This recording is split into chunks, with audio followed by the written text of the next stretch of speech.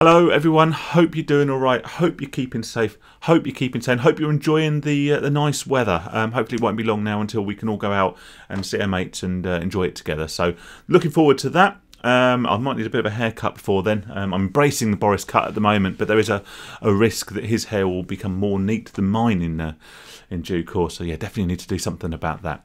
Anyway, that aside, um, I want to talk today about uh, my biggest loss throughout my gambling addiction, what I conceive or perceive to be my, you know, greatest loss during um, during my gambling or my many many years of gambling, my gambling career, as us recovering addicts uh, often call it.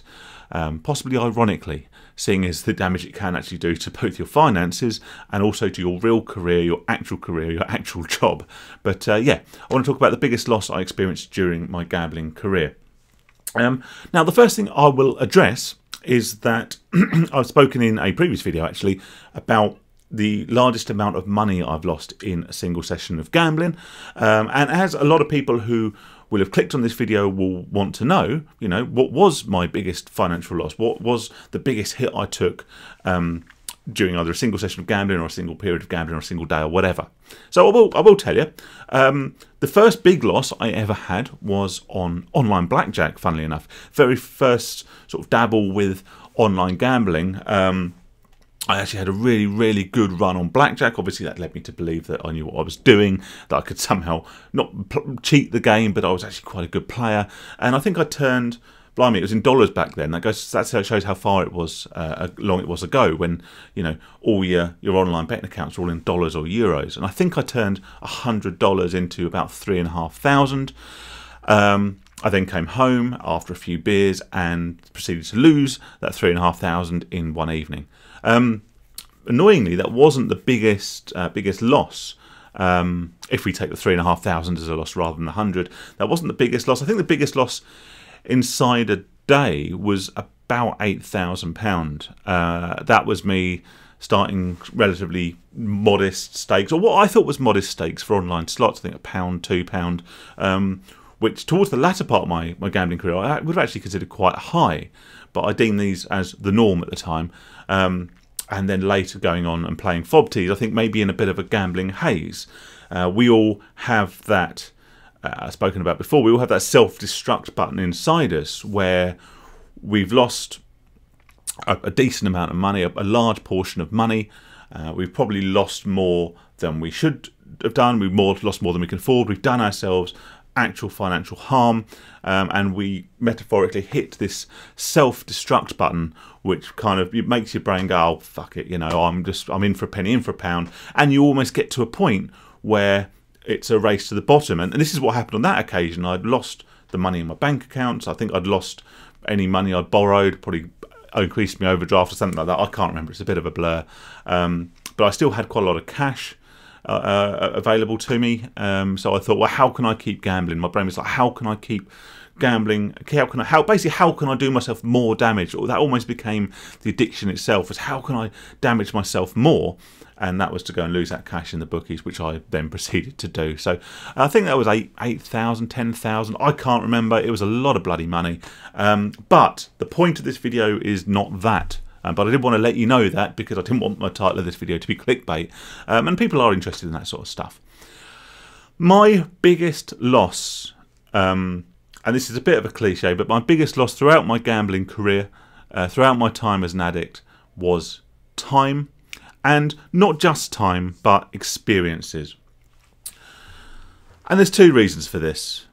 I spent, firstly, a huge amount of time actually gambling, a huge amount of physical time gambling, um, be that being the bookies, be that sat on my own at home, online, where I'd refused other plans, you know, with people and actually doing things that maybe someone of my age, you know, this would have been sort of early 20s, mid 20s, late 20s, you know, whatever, should have been doing spent an awful lot of actual time gambling when I could have been either doing something more enjoyable with both that time and money, something more social, building more friendships, building relationships, or something more practical, something more useful, you know, studying, building a business, basically doing anything um, working on my health, mental health, all the rest of it. You know, basically doing anything that would have improved my life. I didn't make improvements or substantial improvements in my life for over a decade because of gambling. These are things, these are skills, these are experiences, and these are you know things that people pick up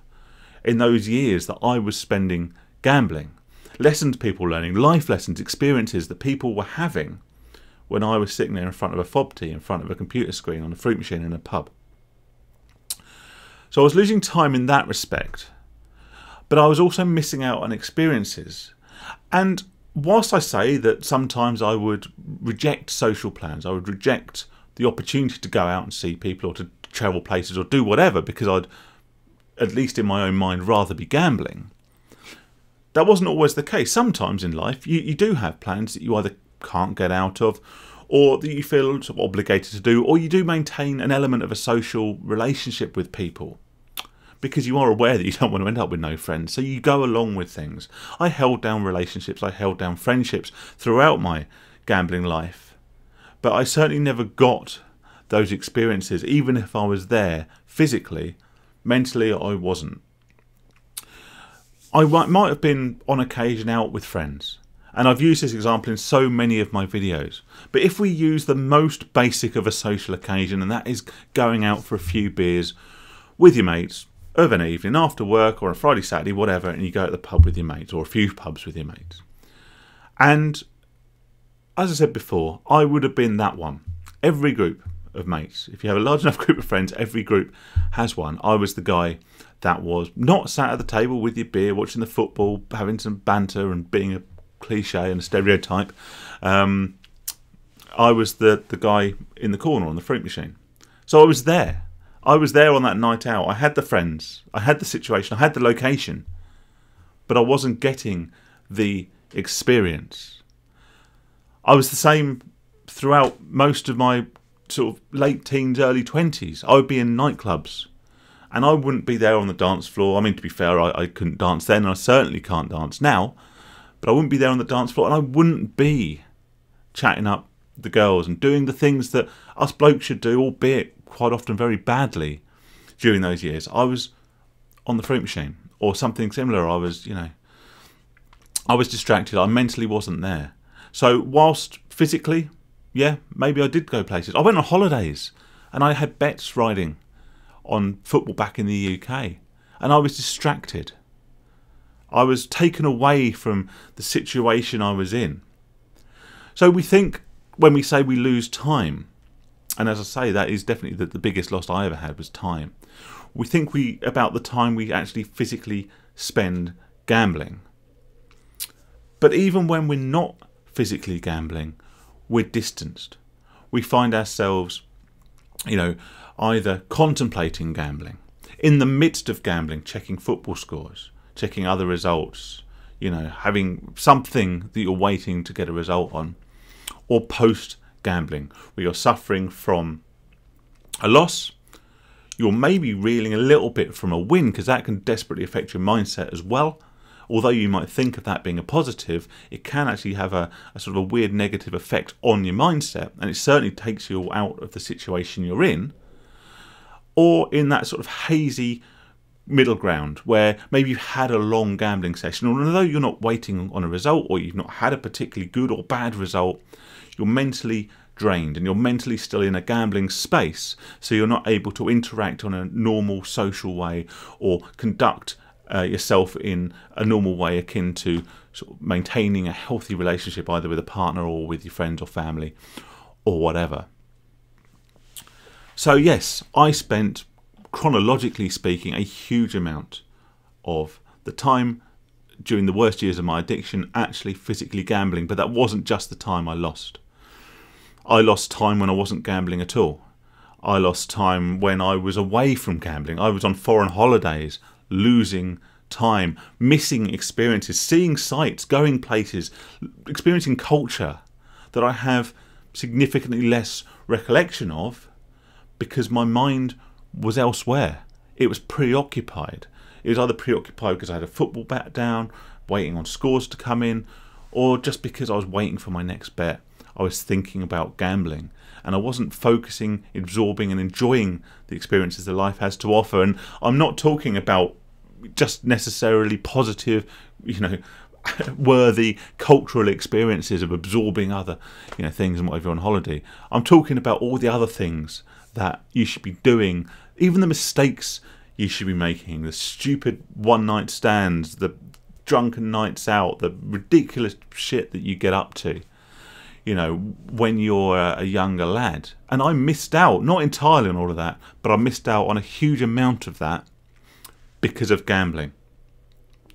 And, you know, maybe in a way, my wife tells me that I, I'm not a, you know, a grown up. I don't act in a, a grown up way. And I, I think although that's quite a male dominated thing, I think also we have to understand that as gamblers, maybe we do forego life experiences, we do forego certain parts of our life, which we then retrospectively, you know, miss and feel like we missed out on and want to catch up on. And and it has, I would suggest, in some element, stunted my development, stunted my growth in that respect because, you know, I lost so much of my time to this horrible, horrible addiction. Um, I hope that that makes a lot of sense. Um, that was sort of triggered a little bit by I was watching one of the podcasts from the Invisible Addiction channel. Um, hello, if you're watching. Um, and uh, yeah, he was talking about lost time and stuff, and I thought, yeah, actually, that's a really good good point. That is, you know, by far and away the the biggest addiction. And as I get older, I realise that um, the money I lost, and I lost a lot of money I can replace, I can work my ass off, and I am working my ass off to do that and to recover money. Pretty much the only breaks I have are sometime in the evenings and, and when I'm making these videos. The rest of the time I spend trying to make money, and it's I'm getting there. You know, I'm recovering the, the, the financial hole I dug for myself during those many years.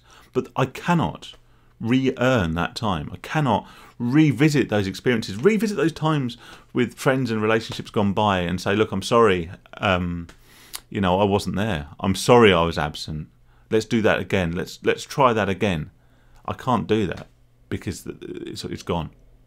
So uh, yeah, if you're younger than me, then you know do something now and don't miss those experiences I missed out. And if you're older than me, then don't miss out on the experiences you've got coming up. You know, life is a you know rich tapestry of experiences, and there's great things about being at every age. And there's ne- it's it's never too late to give up gambling. Don't write off the rest of your life with it. Uh, thanks for watching. Uh, stay safe, stay sane, take care, and I'll uh, I'll catch you all on the next one. All the best.